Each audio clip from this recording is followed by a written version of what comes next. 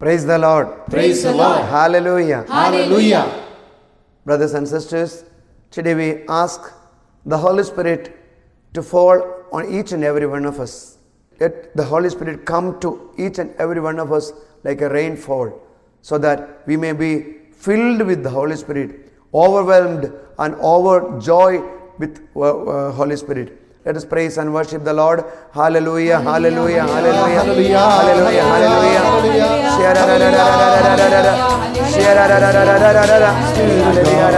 Hallelujah, hallelujah. Praise Spirit of God, rain down. Spirit of God, come into my life. Spirit of God, come into my life down. Let your fire fall on me. Oh, Spirit of God, fall, fall on me. Spirit, fall on me. Let your fire fall on me.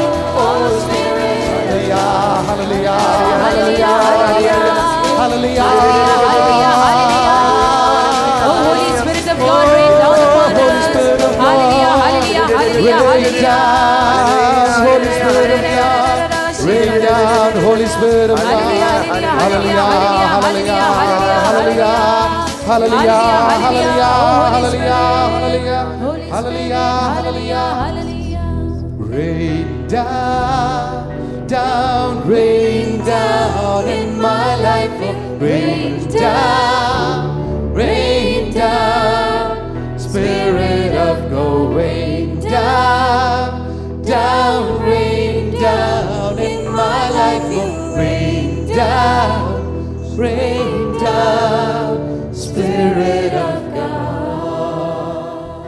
us welcome the Holy Spirit into our hearts, into our lives.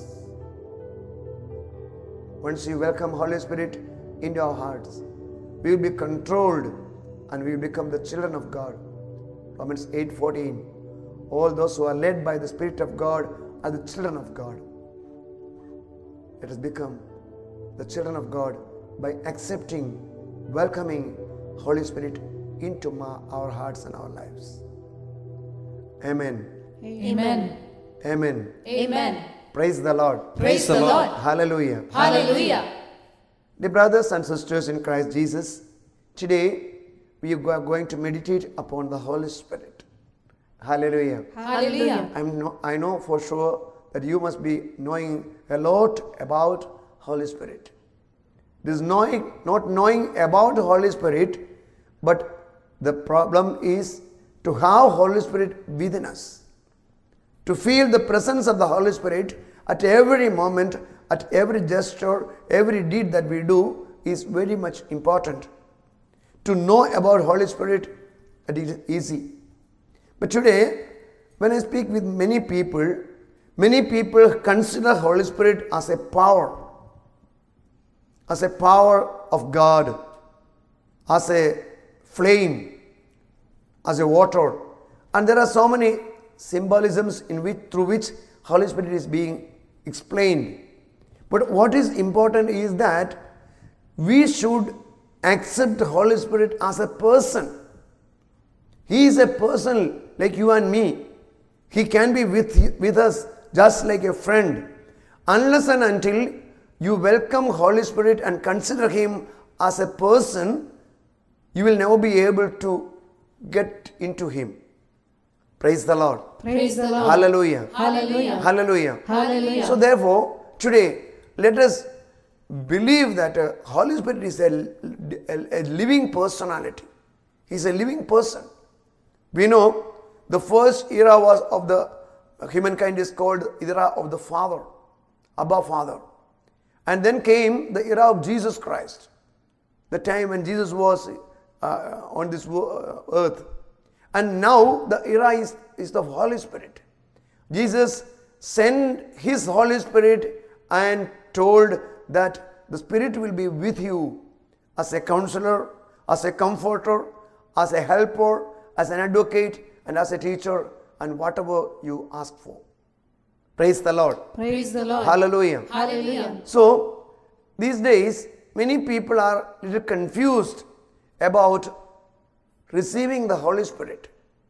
As I told you, the scripture says, only those who are led by the Spirit are the children of God. Hallelujah. Hallelujah. There is commonly, we know, we have got sonship of two fathers. Praise the Lord. Praise the Lord. You may wonder why I said, yes, we have the sonship, or we are children of two fathers. In other words, first father may be the one who have given us birth, the genetical father, who is the we call dad, uh, father. That is our first father, maybe. The second father we know who is that. We, everybody will give the answer. God is our heavenly Father. It may be true, but how it is proved? It is proved through our actions. If you are saying that I am a ch- child of God, definitely you should show this character of your Father through your deeds and actions. Hallelujah. Hallelujah. Dear brothers and sisters, though you say that I am a child of God or we are children of God, at the very same time, you can be a child of even Satan. Praise the Lord. Praise the Lord. I know some will be a little more confused now. This is not what I say. This is what Jesus said. Jesus told the Pharisees and scribes, You say you are the descendants of Abraham and Isaac, but I tell you, you are the children of your father Satan. This we see in the Gospel of St. John, chapter 8, verse 44. Here, Jesus tells this. You are of your father the devil, and your will is to do your father's desires. He was a murderer from the beginning. Hallelujah. Hallelujah. See, Jesus is just uh, talking on you on their face and saying, You are the children of your father devil. Why does he say that? Because we know they are trying to put Jesus into death. And Jesus knew that. And what was the crime that Jesus committed?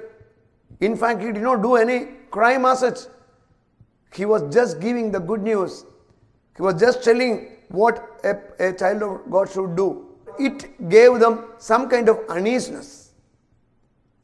Hearing the word of God, they felt some kind of uneasiness in their heart because they felt that he is doing something wrong. And Jesus is telling you, if you are a child of God, you will never be able to put a man, an innocent man, into death. Therefore, your own deeds will reveal that you are not of the children of God or you are not a child of God. Dear friends, very clearly, Saint Paul explains this two nature or two kinds of the people, two kinds of people. In the Galatians chapter 5, we see verse 19 onwards.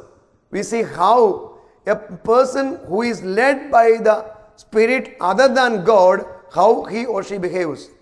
The Word of God says, the fruits of the spirits or the fruits of the flesh are these. Let's listen to that.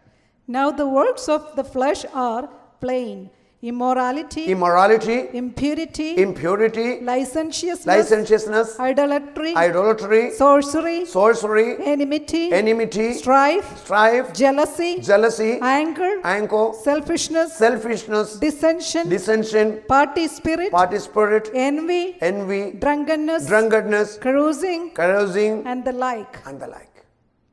What does it mean? If these things have been produced by you, you can never claim to be a child of God. Instead, if you are a person who is led by the Spirit, the person will produce the spirits of the Holy Spirit that we see in the same chapter, chapter uh, verse 22 onwards. Let's listen to that. But the fruit of the Spirit is love, Love, joy, joy, peace, peace, spirit, spirit. and the desires of the Spirit are against the flesh, Hallelujah. Hallelujah. And the desires of the flesh are against the desires of the spirit. Therefore, my dear brothers and sisters, when you say, I am a child of God, just you think how you behave in your day to day activities. Hallelujah. Hallelujah. Hallelujah. Hallelujah. So, therefore, my dear brothers and sisters, it is very, very important to receive the Holy Spirit. And the, when Holy Spirit comes to our hearts, He will cleanse all our sickness, all our sinfulness. He will take away all the stains of our sins. Hallelujah. Hallelujah. Hallelujah. Hallelujah. When we look into the Bible, We see, dear brothers and sisters, the Holy Spirit is a powerful personality. And that's why Jesus knew that unless and until the disciples, the apostles, receive the Holy Spirit, they will never be able to become the witness of God, witness of Jesus. And therefore, Jesus told them, warned them, say, till, until the Holy Spirit come, you shall not leave Jerusalem. And you know, on the day of Pentecost, we see, till then, they were so much afraid of other Jews. They were afraid and they were ready, they were so afraid that they closed every doors and windows of the room where they have, and they were just praying and praying and praying because they did not know what to do. They were so cowards. And in this situation, when the power of the Holy Spirit, the person of the Holy Spirit came upon them like a flame, we see what tremendous change, what tremendous change takes place. They stood up and they started preaching the word of God with, uh, with courage and strength. Praise the Lord. Praise the Lord. Hallelujah. Hallelujah. In the Acts of the Apostles, chapter 2, verse 14, we see Saint Peter getting up together with the eleven and he courageously proclaimed the word of God. Let us listen what he says. But Peter, standing with the eleven, lifted up his voice and addressed them Men of Judea and all who dwell in Jerusalem, let this be known to you and give ear to my words. For these men are not drunk, as you suppose, since it is only the third hour of the day. But this is what was spoken by the prophet Joel. Hallelujah. Hallelujah. Here, Saint Peter is just getting up and he is starting his preaching. And he is saying, I am, we are not drunk as you think. We are not drunk. It's just the third hour of the uh, day. But what we are going to tell you is that as the prophet Joel has prophesied, everything has come true. Hallelujah. Hallelujah. Let us listen to the word of God from Joel chapter 2, verse 28. And it shall come to pass afterward that I will pour out my spirit on all flesh. Your sons and your daughters shall prophesy. Your old men shall dream dreams. And- Hallelujah. Hallelujah. The God has promised long back that He is going to pour out His Spirit on each and every one of us. And St. Peter said, Today we have received and experienced this power, and that is what we, we are go- doing. And you know how powerful they were. Except John, we know all the uh, apostles were martyred. How they got so much courage? Just only because of the Spirit of the Lord working in them. Therefore, my dear brothers and sisters, in our day to day life, if we want to live up the faith, we need the Holy Spirit. To be a true Christian, you need the anointing of the Holy Spirit. Hallelujah. Hallelujah. Hallelujah. Hallelujah. Therefore, today, as we listen this word of God, we know by listening the word of God, the power of the Spirit come upon us. As Peter was speaking, the preaching the word of God, we see the power of the Spirit came upon the everyone who listened. Again, we see, dear brothers and sisters, if we want to receive the Holy Spirit, we have to do two, three things, very simple things. First and foremost, what we have to do is you should accept Jesus as your Lord and Master, and you should confess your sins. We see in the Acts of the Apostles, chapter 3, verse 38. And Peter said to them, Repent and be baptized, every one of you, in the name of Jesus Christ, for the forgiveness of your sins, and you shall receive the gift of the Holy Spirit. See, the first step to receive the Holy Spirit is a coming back to God by repenting of your sins, taking a U turn and coming back to God and telling them, I have sinned. Oh Lord, bless me. And accept Jesus as the Savior and Master. That is the first step to receive Holy, uh, receive Holy Spirit. Hallelujah. Hallelujah. The second step is that, dear brothers and sisters, we should thirst for the Holy Spirit. Praise the Lord. Praise the Lord. Hallelujah. Hallelujah. Once I remember a man, a gentleman came to his uh, master and said, Master, I need Holy Spirit. And he said, You should earnestly urge and thirst for Holy Spirit. He said, I am doing it, but I am not getting it. Then the uh, master told him, Do one thing. You go to a desert, and there uh, you uh, spend three months in prayer and fasting, and you will ask the thirst and ask for the Holy Spirit. You will receive the Holy Spirit. And he went there, And after three months, he came back. And the uh, uh, master asked him, Did you get the Holy Spirit? He said, No. Okay, fine. The master told, You come with me. He took him to the uh, uh, a pond which was nearby. He told him to step in into this water. water. He stepped in, and also together with him, the master also came in. Asked this man to dip himself, and he just went inside the water. Then you know what he did? The master just pressed him down and dipped him under the water for a few seconds. And within no time, this man took with all his strength, he just threw away the hands of the master and came and said, What is it? What are you going to do it? You told me, I asked you to give the Holy Spirit and you are going to kill me. The master said, No, no, no, I'm not going to kill you. Now let me ask you one question. What were you thirsting for while you were under the water? He said, What, what, what, what a question is that? I was just thirsting for a, a little bit of uh, air and uh, oxygen. And the master asked him, As you are under the water, you are just thirsting for a little bit of oxygen. Did you have the same spirit to get the Holy Spirit? If not, you are not able. Hallelujah. Hallelujah. In the Gospel of St. Luke, chapter 11, verse 13, the Word of God says, If you then, who are evil, know how to give good gifts to your children, how much more will the heavenly Father will give the Holy Spirit to those who ask him? Hallelujah. Hallelujah. How much more will He not give you the Holy Spirit, all those who ask Him? Hallelujah. In the book of Isaiah, chapter 55, verse 1. Ho, everyone who thirsts, come to the waters, and he who has no money, come buy and eat. Come buy wine and milk, without money and without price. Hallelujah. Hallelujah. God is ever ready to give Holy Spirit without price, without money. Just ask. Make yourself clean and ask the Lord. Hallelujah. Hallelujah. The Gospel of St. John, chapter 7, verse 37 says, On the last day of the feast, the great day, Jesus stood up and proclaimed, If anyone thirst, let him come to me and drink. Praise the Lord. Praise the Lord. Hallelujah. Hallelujah. Let us stand up. My dear brothers and sisters, first cleanse yourself and repent and come back to Jesus. Second, thirst, have a thirst for Holy Spirit. Third, but not the least, dear brothers and sisters, humble yourself. As Mother Mary said, you have seen the humility of this humble servant. Let us be humble enough to accept Holy Spirit. In the book of Joel, chapter 2, verse 29 says, He will pour out His Spirit on all those servants, all those who are slaves, and be a slave of God. Let us praise and worship the Lord.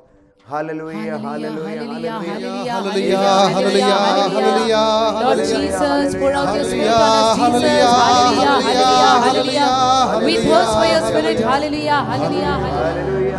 Hallelujah. Hallelujah, hallelujah, hallelujah, Send forth your spirit, and they shall be created again. Praise the Lord. Praise the Lord.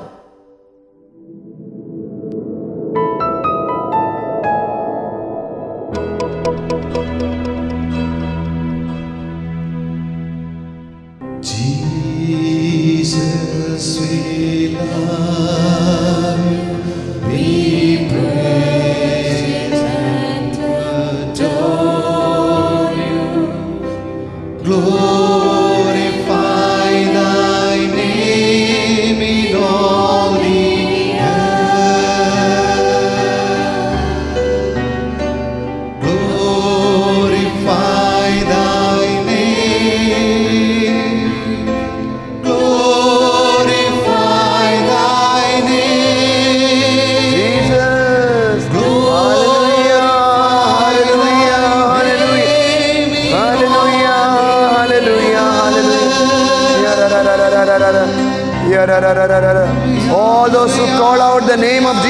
be saved.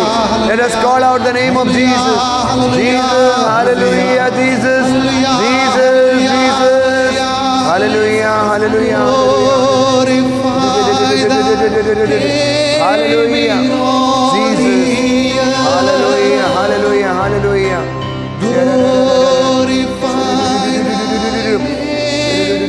all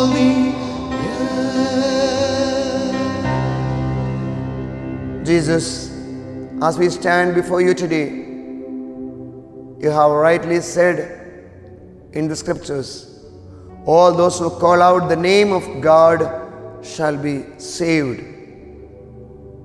Lord, you cannot deny the cry of your beloved ones. However sinful he is or she is, however the person is away from you, you cannot deny the cry. And in the Bible, we see all those who have called out your name in their struggle and stress were delivered from their brokenness and their stress. And today, Lord, we ask you, give us the grace to call upon your name, not only during our time of danger and troubles, but every time, every time, let the name of Jesus be on our tongues. Dear brothers and sisters, raise your hands up to heaven. Now, we call out the name of Jesus for some time. The name of Jesus is the powerful name God has given to us for deliverance and to get cured. Let us praise and call out the name of Jesus. Jesus, Jesus, Jesus, Jesus, Jesus, Jesus. In the name of Jesus, there is victory. In the gen- Jesus. Hallelujah, hallelujah, Jesus. hallelujah.